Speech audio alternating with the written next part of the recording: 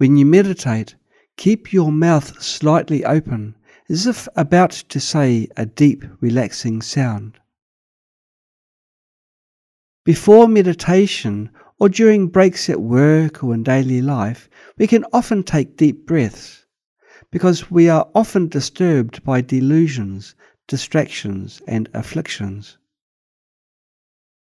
In our daily life, we can often take deep breaths inhaling through the nose and exhaling through the mouth with a deep, relaxing, and soft sound. This is what people call sighing. Sighing is actually good for health. I once heard of an old lady who was asked about her secret to living a healthy and long life. She said, my favorite thing is sighing. Sighing is actually a way to release our afflictions and delusions, to protect ourselves. It may not come naturally to us, though. Now we can actively take deep breaths, similar to sighing, which can greatly benefit our health. Because when afflictions arise, our minds become agitated and anxious. Actively visualize and let go of your current attachments, delusions, or afflictions. While visualizing like this, let go with the help of breathing. This is a good method Breathing through the mouth can dispel the scattered karmic winds that cause afflictions. When you have lots of wandering thoughts, you can do this deep breathing a few times to relax. We can also do this before meditation. Breathe deeply for a few minutes to relax. Let go of all the afflictions and attachments in our daily life, and then start meditation. This is a good warm up.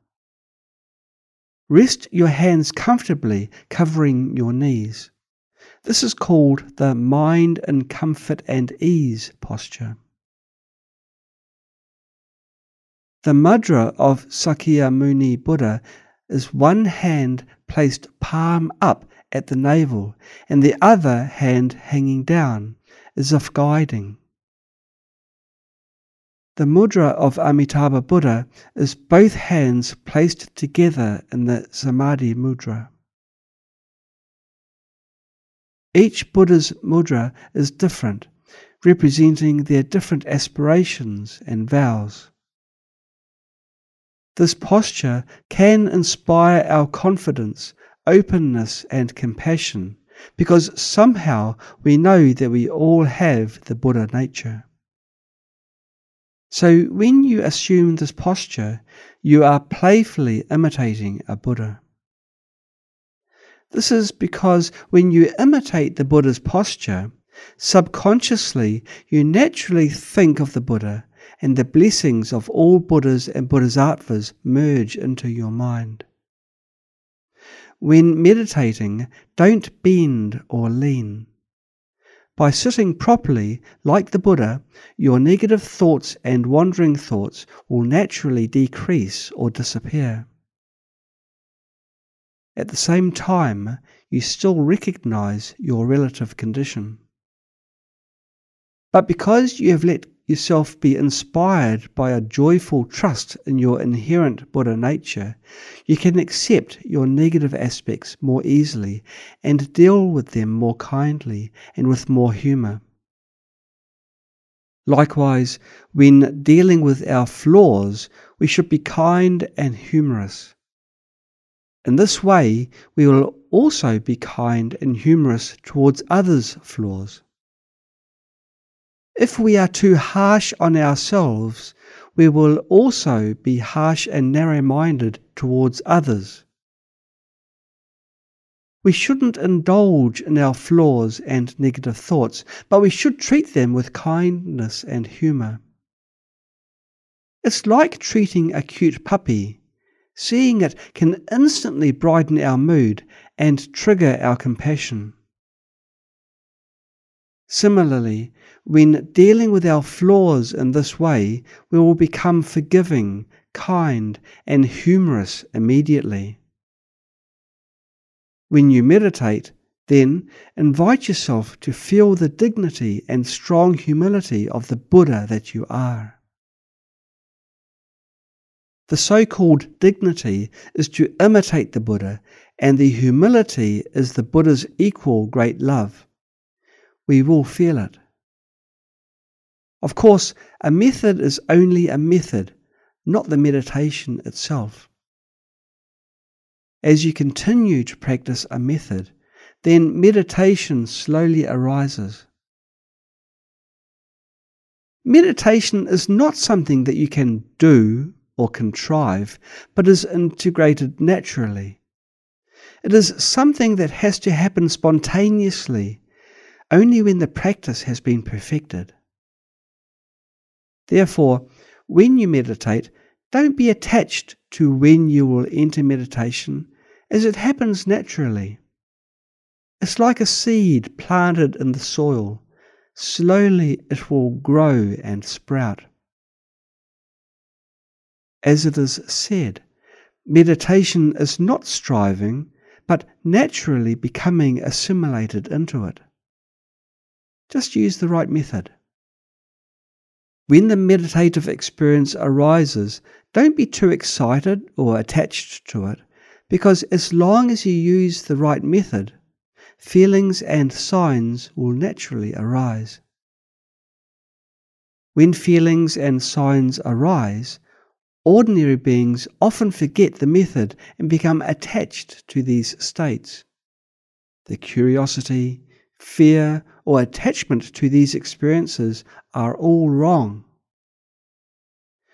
We shouldn't forget the method of meditation, but should always use the right method. In this way, meditation will naturally arise. However, for meditation to happen, calm and auspicious conditions have to be created. Nowadays, beginners may not have the opportunity to live in the mountains, and the mountains are not quiet either. The most calm and auspicious environment is actually in our urban meditation centres. A pure monastic community is essential. We often say that we need to rely on the community. If you meditate at home, you won't be able to concentrate when you see your beloved family members. When you see your grandchildren, husband, and children, how can you meditate? You cannot calm down. Once we have found a stability in our meditation, noises and disturbances of every kind will have far less impact. Through long term practice, disturbances will have less impact. The Masters say if you create an auspicious condition in your body and your environment, then meditation and realization will automatically arise. Of course, for people with heavy karmic obstacles and many afflictions, with strong attachment to money, fame, gain, etc., it's difficult to sit still in meditation. When you sit down, you're basically consumed by wandering thoughts. It's better for such people to do more good deeds, give alms, serve others, Cultivate renunciation. Listen to teachings on renunciation and meditate on the three kinds of suffering and impermanence. Without good renunciation, it's difficult to achieve good results in meditation. It's better for you to do some voluntary work and listen to the Dharma. Sitting there is wasting your time, and daydreaming also consumes your energy. You are basically only creating negative karma, while others might think that you are practicing diligently. You are wasting time and offerings. It's better for you to listen to the Dharma. The Buddhas and Bodhisattvas are teaching you the Dharma, which can eliminate your karma. That's why we are advised to listen to the Dharma and chant prayers more, such as Amitabha prayer and Manjushri prayer. Chanting them can eliminate a lot of karma because at least you are meditating according to the prayer. If you sit there thinking, I'm going to meditate, then you're basically creating negative karma, wasting your life, and not reducing any negative karma. If you have too many attachments that you can't let go of, you won't meditate well. Therefore, we need to cultivate renunciation, no self, and bodhicitta, which can help us meditate. If we make stable progress in these three aspects, it won't be difficult to enter meditation. In short, as long as you master the right methods, meditation is not difficult and will arise naturally. Therefore, when you cannot enter meditation, you need to examine your mind. What are you still clinging to? What are you still worried about? We need to examine ourselves and then repent sincerely. After thorough repentance, meditation will naturally arise. Okay, that's all for today.